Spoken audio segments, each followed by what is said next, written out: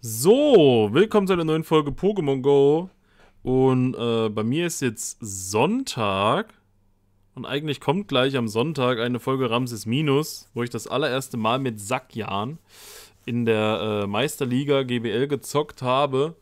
Und ich möchte jetzt aber trotzdem ein Video vorbereiten für den Donnerstag, wo Shania da ist und wir zusammen wandern wollten und Bier trinken wollten und Raids machen wollten und Döner essen wollten, so ein Vlog, so eine Tour, da wird es nämlich keinen Livestream geben, da wird es kein Video geben, da wird es kein gar nichts geben. Also, und da äh, möchte ich jetzt einfach was vorbereiten. Da werde ich wahrscheinlich dieses Video jetzt machen, denn wir befinden uns, wie gesagt, immer noch in der Meisterliga. Aber am Montag wechselt das. Ich bin jetzt gerade frisch Rang 19 geworden. Ich finde das unglaublich toll dieses Mal hier. Guckt euch doch mal die geile Statistik an hier. Äh, 113 Siege bei 185 Kämpfen, längste, Sie äh, längste Serie 10. Wie gesagt, ich bin jetzt Rang 19, sieht man hier ganz deutlich an diesem weißen, nichtssagenden Bildschirm. Meine Top-Lade-TM, was mein Ziel ist, habe ich jetzt bekommen. Bei Rang 19 kriegt ihr die Top-Lade-TM, die habe ich jetzt schon bekommen. Und jetzt ist was ganz Besonderes, denn ihr habt jetzt 5 Pokémon-Belohnungen von Rang 19 auf 20. Ich glaube, es ist sogar egal, ob ihr gewinnt oder verliert ihr würdet danach sowieso auf Rang 20 steigen. Also selbst wenn ich alle fünf Kämpfe verliere, habe ich das Gefühl, dass ich trotzdem dann Rang 20 bin. Ich versuche natürlich jetzt möglichst viele Kämpfe zu gewinnen, damit ich fünfmal diese Pokémon-Belohnung kriege, weil das mich interessiert, was da jetzt drin ist. Wir könnten auch hier einen Pass einwerfen, lass mal aber. Dann können wir auch mal schauen, ob ich da gut durchkomme. Jetzt mit Sackjan im Team der jetzt vorne dran steht mit Best Buddy Boost. Der ist nicht auf Level 50. Da muss er erst nochmal zurückkommen, dass ich da noch ein paar XL mitnehme. Alle Pokémon sind aber 100%. Die Jalga Giratina ist auf Level 50. Sakyan ist auf irgendwas dazwischen. Und mal schauen, wie es verläuft. Ich bin eigentlich guter Dinge, dass ich drei Stück vielleicht gewinne. Aber ob das jetzt wirklich so ist, je, jeder Kampf ist anders. Jeder Kampf kann wieder komplett alles rausreißen. WPM 12. Und wir haben Mewtwo. Da fühle ich mich jetzt noch nicht davon so sehr beeindruckt, denn gerade bei Mewtwo habe ich angefangen. Wir greifen hier mit Unlicht an, dass ich so lange mache, bis ich Knuddler einsetzen kann. Ich habe sogar meistens von ihm einmal seinen Move durchgehen lassen. Psychostoß, er ist nur auf 4-1, das heißt, er ist nicht so krass. Habe auch schon gegen 4700er gekämpft. Und jetzt muss er eigentlich sein Schild einsetzen. Hat er auch gemacht. Jetzt können wir hier weiter drücken, bis wir zum zweiten Knuddler kommen. Können unser erstes Schild einsetzen. Und haben dann vielleicht Glück. dass wir mit dem nächsten Knuddler sein zweites Schild rausloggen. Schon hat er gar keine Schilde mehr. Ungefähr so. Schmeißen wir jetzt also hier drauf. Jetzt weiß ich natürlich nicht, was ist sinnvoller. Direkt auf Giratina wechseln und den Rest machen. Oder auch abwehren. Wichtig ist für mich eigentlich immer die Schilde rauszuloggen. Lassen mal den Psychostoß noch durch, holen mal Giratina rein und versuchen jetzt mal mit Giratina hier den Rest vom Mewtwo wegzumachen.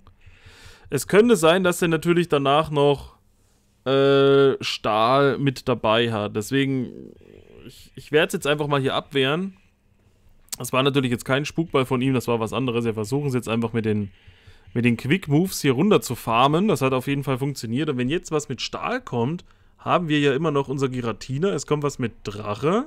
Ich würde also wechseln, auch auf Drache.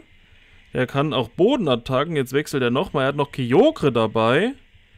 Okay, Kyokre kann mir eigentlich nicht so viel anhaben gerade. Was kann Kyokre? Kyokre kann doch eigentlich nur Surfer. Manche spielen da auch hier Stromstoß, irgendwas. Also mal gucken, mal gucken, mal gucken. Greif uns ruhig mal an. Kyokre dürfte uns jetzt keine Gefahr darstellen. Wir haben noch einen Spukball dann übrig für das blöde Knackrack, was er ja leider jetzt gewechselt hat. Ähm, hauen wir es jetzt so um, hauen wir es andersrum. Ich glaube, wir müssen den ersten Move, der voll ist, machen, sonst sind wir tot. Ah, wir schaffen es nicht. Wir haben es nicht geschafft. Das ist leider schade. Surfer, wir haben sogar, wir haben noch ein bisschen übrig. Hier. Was machen wir auch immer? Ich weiß, es ist jetzt schon total chaotisch. Wir haben noch ein bisschen Energie übrig. Es wäre schön gewesen, mit den Quick Moves ihn down zu kriegen, den Rest auf das auf das Knackrack draufgeworfen. Wir gehen jetzt direkt auf Spukball. Ich hoffe, wir dürfen eher, eher angreifen. Wir dürfen zuerst, bevor er kommt. Das ist auf jeden Fall ein knappes Ding. Ich glaube nicht, dass er schon tot ist. Und haben wir jetzt vielleicht, wir haben noch einmal Unheilböen voll. Guckt euch das an. Einmal Unheilböen hinterher. Und das war's. Der erste von fünf Matches, äh, der erste von fünf Kämpfen ist im Sack. Oh, ich glaube, ich hätte früher gar keine Chance gehabt, kein gar nichts, aber ich finde Sackjan trotzdem richtig cool dabei. Obwohl natürlich auch Togekiss von in der Führung richtig cool ist. Vielleicht sollte ich mal Togekiss und Sackjan beide gleichzeitig ins Team nehmen. Dann wüsste ich aber nicht, was ich rausnehme. Vielleicht doch Dialga raus, weil der so lange braucht, bis er seine Moves voll hat. Aber der ist wieder der Einzige, der ganz cool ist, wenn jetzt Togekiss doch als Gegner kommt mit seinen Stahl-Moves. Also, wir machen dasselbe einfach nochmal. Jetzt haben wir hier Kyokre am Start. Ja, Kyokre. Weiß ich nicht. Das Sackjan hält halt nicht so viel aus. Das ist ein Problem, was ich habe. Kyokre vorne drin bin ich eigentlich ein bisschen sprachlos. Würde vielleicht sogar jetzt auf. Äh, wir wechseln mal hier aufs Giratina. Und er wechselt auf Latios. Na gut, er ist ein Drache, okay. Das Sackjan brauche ich noch, wenn wirklich noch was krasses kommt. Wenn dann noch ein Metall kommt. Obwohl, wenn ein Metall kommt, habe ich ja eigentlich trotzdem meinen Giratina. Also vielleicht hätte ich doch gar nicht wechseln sollen. Jetzt steigert sich unsere Verteidigung, äh, Verteidigung und gleichzeitig auch unser Angriff. Wir machen trotzdem gut Schaden. Wir haben zwei Schilder. Wir könnten jetzt eigentlich schauen, dass wir mit den Quick Moves hier gut durchkommen. Das wird jetzt auch mein Plan sein und schon mal alle Moves aufladen. Egal wie weit es geht. Wir müssen jetzt schilden, sonst war das Aufladen komplett umsonst. Und egal was er jetzt reinholt, ob Kyokro oder was anderes, wir haben uns fett aufgeladen. Und er hat, wen hat er?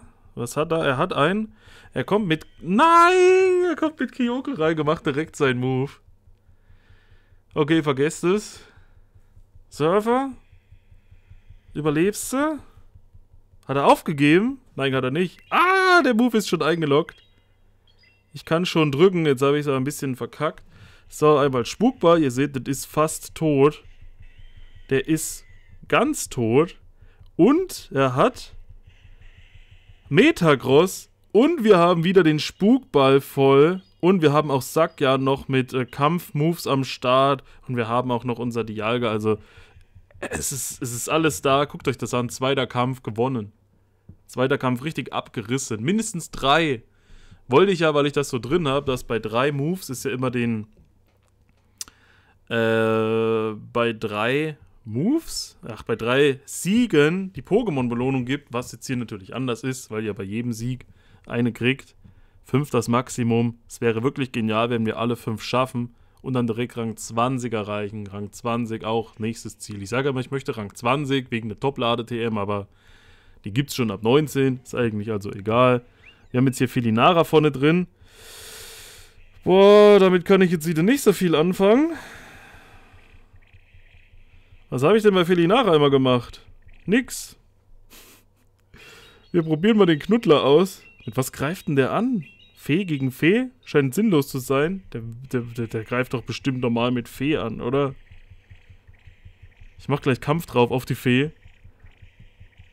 Der farmt, der farmt. Ich darf auf jeden Fall nichts Drachenmäßiges reinholen. Die Alga würde vielleicht noch ein bisschen besser standhalten. Aber erstmal muss der hier seine Schilde verlieren. Jetzt hat er nicht geschildet, die Sau. Ja, dann, dann, dann lass, uns, lass uns noch einmal. Das Felinara ist ein bisschen gerade. Felinara bin ich gerade ein bisschen überfordert, gebe ich zu. Deswegen machen wir einfach nochmal Knuddler. Denn wenn er jetzt denkt, ich greife wieder mit Nahkampf an und er lässt es vielleicht durch, dann ist es vielleicht weg. Dann nervt mich das nicht mehr. Er lässt es durch. Und ich bin trotzdem weg. Den Rest muss ich jetzt, ich muss den Rest mit Dialga machen. Aber Dialga ist auch, ah, Dialga passt eigentlich nicht. Aber Dialga kommt, Dialga greift stärker an, ist schneller, ist besser. Macht es weg? Nein, macht es nicht weg. Lassen wir mal durch. Psychoschock. Hm. Hat noch ein Schild. Ich habe auch noch ein Schild. Aber gut, ich kann auch noch wechseln. Er wechselt. Also er wechselt eigentlich nicht. Ich wechsle. Aber wir kommen jetzt hier mit an. Lass uns jetzt hier einen Spukball drauf machen. Oh, jetzt kommt der mit Kyokre an. Dann halt nicht, dann halt nicht, dann halt nicht. Das Melmetall wird mir zum Verhängnis hinten drin, das sehe ich schon. Einmal Unheilböen, bitte. Nochmal Unheilböen, bitte. Ich muss Zeit schinden. Ich muss Zeit schinden. Den ersten werde ich auf jeden Fall überleben. Was auch immer der macht. Ich kann meine Moves aufladen. Ich brauche keine Moves einsetzen. Er hat aber auch keine Moves eingesetzt. Ich drücke jetzt hier einfach weiter.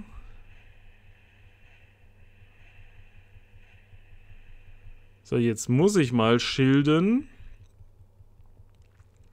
Und hoffe, dass wir jetzt gleich zurückkommen mit unserem äh, Dialga. Es ist jetzt ein Kampf gegen die Zeit.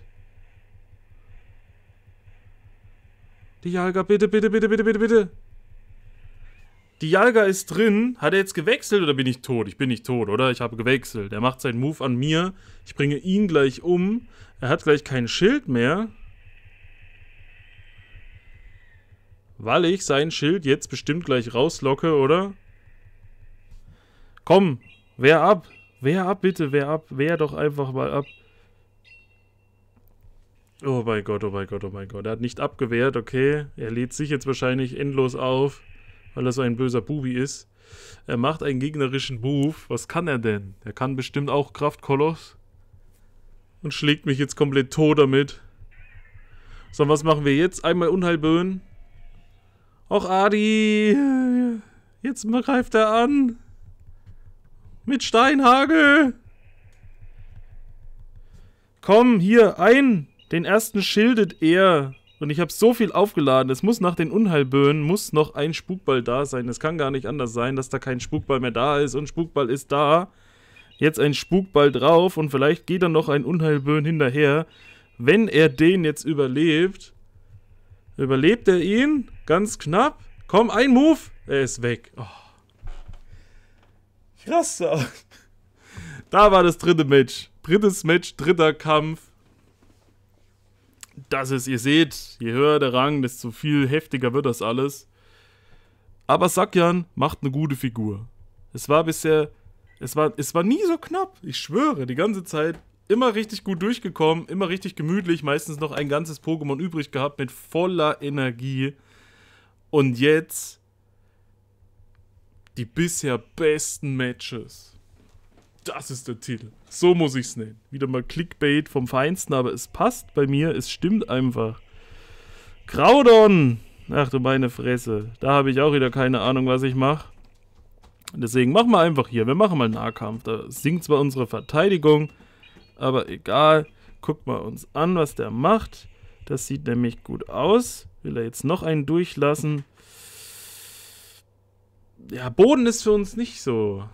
wenn er mit Boden ankommt, sieht's düster aus. Beim zweiten Mal lädt das doch hier viel schneller, oder? Ich muss mal einen durchlassen. Der macht bestimmt noch mal einen Feuerschlag. Hoffe ich. Okay. Und wir haben nochmal Nahkampf, dann entweder ist er tot oder er nutzt endlich mal ein Schild von sich. Er nutzt kein Schild, er wartet ab. Was hat er dann jetzt übrig? Jetzt hat er was mit Fee. Es kann doch nicht sein Ernst sein. Und guck dir an, wie ich hier rausfliege.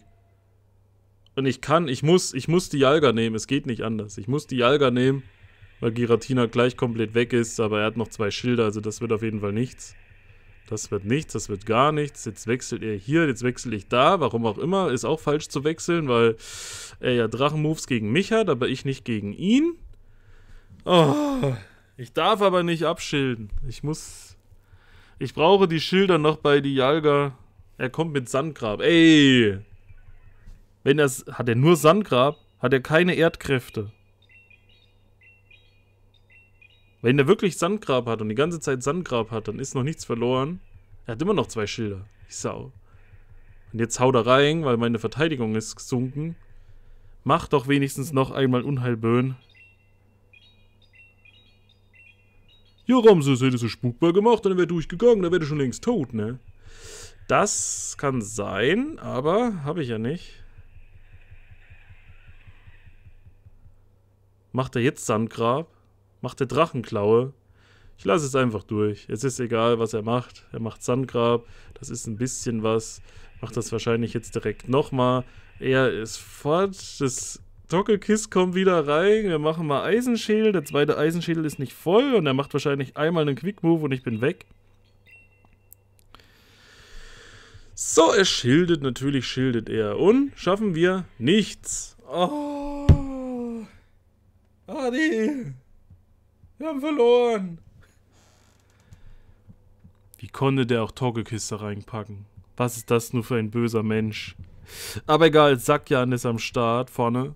Der hat noch Hunger, glaube ich. Die Bockwurst reicht ihm nicht aus.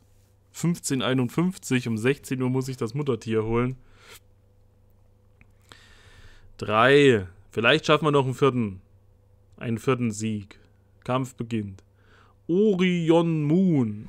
74. Mit roten Haaren.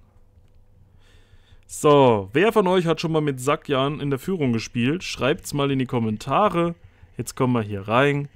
Wir gehen natürlich wieder auf unseren Nahkampf, der auch ziemlich schnell wieder voll ist. Der halt leider Gottes unsere Verteidigung sinkt. Absenkt. Aber manchmal blocken die nicht und sind gleich komplett raus. Äh, ich würde den ersten sogar, glaube ich, durchlassen. Macht bestimmt Schlagbohrer. Nee, macht er nicht. Der macht Eisenschädel. Nein, ich habe bisher noch keinen gehabt, der einen Eisenschädel gemacht hat. Ist das ein Typ, Alter. Ja gut, dann kommt halt Skiratina ins Spiel. Er wechselt bestimmt gleich wieder aus. So, was macht er jetzt? Weiß ich nicht. Ey, bisher hat er jedes Mal entweder das Schlagbohrer gemacht oder irgendwas anderes. Aber was das andere ist, weiß ich nicht. Also hat er bisher immer nur Schlagbohrer gemacht. So, jetzt hat er den drin. Ja, da hat er mich jetzt überrascht. Da hat er mich wirklich überrascht. Damit habe ich nicht gerechnet.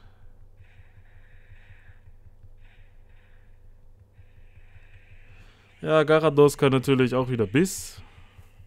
Äh, Knirscher meine ich. Mich abgewehrt. Im Endeffekt macht er Nassschweif. Nein, es ist sogar Knirscher. Okay. Komm, hau mal drauf. Einmal hier. Hau mal einmal einmal hier Eisenschädel drauf. Ein Move habe ich doch noch. Äh, ein Schild habe ich noch. Ein Schild ist noch am Start. So lange können wir uns nochmal aufladen. Da setzen wir natürlich das Schild ein. Obwohl. Ja, doch, doch, doch, doch, doch. Und jetzt müssen wir aufpassen. Der hat ja immer noch er hat noch Mewtwo, Bruder. Schaffen wir es, den Dragometeor zu zünden? Nein, schaffen wir auch nicht. Vielleicht hätte der jetzt einfach reingeklatscht, aber... Ah. Psychostoß, weg, hier rein. Hier mal ein Spukball drauf. Das war's fürs Mewtwo. Aber wahrscheinlich mit seinem komischen Stallobor war es das dann auch gleich für mich. So. Oder? Er hat noch viel zu viel. Er wird vor mir drankommen und er wird uns einfach besiegen. Adi, beende nicht die Aufnahme. Nicht die Aufnahme beenden. Nochmal Schlagbohrer. Ein bisschen was ist noch da, aber das reicht natürlich nicht aus. Unverloren. Dreimal gewonnen, zweimal verloren. Adi, was hast du denn wieder gemacht? Das hat die ganze Zeit so gut funktioniert. Jetzt darf ich trotzdem drei Pokémon-Belohnungen abholen. Wir haben einmal ein Weberak. Heftiges Pokémon, guckt euch das an. So. Eins. Wir haben einmal ein Forstelka. Das sieht ja fett aus. Ich glaube, ich habe noch nie ein Forstelka Empfangbildschirm gehabt. Und wir haben Lampi. Wir können die drei auch gleich mal bewerten. Übrigens war gestern Abend dieser äh, Kampftag. Wo man ja 100 Kämpfe machen konnte und alles. Also das hat sehr gut funktioniert, aber ich habe den Kampftag leider dann nicht mehr spielen können, weil ich ja warten musste, dass ich heute das aufnehmen kann, dass ihr die Pokémon-Belohnungen seht und so bremst ein YouTube immer mal ein bisschen aus. Wir bewerten die drei jetzt hier. Weberak, nix. Forstelga, nix. Und Lampi, nix. Und jetzt ist der Punkt, weil viele immer sagen, wie erreiche ich den 21? Ich brauche doch da eine Bewertung von mindestens so und so viel. Und wenn ich bei Rang 20 rauskomme, habe ich nur so und so. Bei mir steht jetzt schon aber 2100 noch was Punkte. Ist es also nicht egal, ob ihr jetzt kämpft und dann immer verlasst, damit ihr schneller in den nächsten Rang kommt? Zudem, wenn ihr wirklich jedes Match komplett durchspielt und viele Siege habt, weil sich im Hintergrund eure Punktzahl schon zusammensetzt aus den bisherigen Kämpfen, die ihr habt, muss ja so sein. Weil manche erreichen Rang 20 und haben gerade mal 1800 Punkte. Ich erreiche Rang 20 und habe schon 2100. Das heißt, selbst wenn ich jetzt nur einen Kampf gewinne, in dem 5er Match, bin ich automatisch trotzdem auch schon 21. Glaube ich. Weil ja ab 2100 Punkten du 21 wirst und ich bin ja jetzt schon auf 2100 Punkten, muss aber jetzt erst noch ein Set abschließen. Wahrscheinlich selbst wenn ich jetzt alle fünf Kämpfe mache und aus allen fünf Kämpfen rausgehe, kann es sein, dass ich auch schon 21 bin, weil ich ja schon über 2100 Punkte gerade habe. Wer dazu was weiß, kann es gerne reinschreiben. Das war es jetzt eigentlich von meiner Seite aus schon wieder. Nicht so eine extrem lange Folge, aber mal zwischendurch kurz wie bei mir momentan so die Meisterliga abgelaufen ist, seitdem ich Sackjahren drin habe. Und dass ich sagen muss, gerade mit Sackjahren, jetzt macht das eigentlich wieder richtig viel Spaß. Ist spannend. Es ist nicht einfach. Es ist nicht so schwer wie sonst. Es ist nicht so extrem unbeholfen und man sieht ja vielleicht von Folge zu Folge irgendwo ein bisschen eine kleine Steigerung mit dabei. Auch wenn ich immer mal wieder gegen ein Pokémon kämpfen muss, gegen das ich noch nie gekämpft habe, dann wieder ratlos bin. Was ist das denn? Was hat das denn? Was macht das denn? Was kann das denn? Wieso macht das erst gar keinen Schaden und jetzt doch so viel? Also es, es ist halt immer wieder ein kleines Rätsel. Ich jetzt also auf Rang 20. Ich denke mal, Rang 21 werde ich noch kommen. Wenn ich auf Rang 22 kommen würde, wäre das das allererste Mal, dass ich überhaupt Rang 22 erreicht habe. Ansonsten war es das jetzt von meiner Seite aus. Wir sehen uns beim nächsten Mal. Bis dahin, Peace out, Vorhaut, euer Ramses und schreibt mal rein, welche Liga ist eure Lieblingsliga? Super, Hyper oder Meister? Und warum? Ansonsten bis zum nächsten Mal. Ciao.